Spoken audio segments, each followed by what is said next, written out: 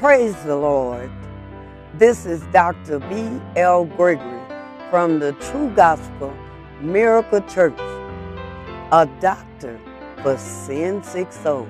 If you're sick, let me doctor on you. Get ready, get ready.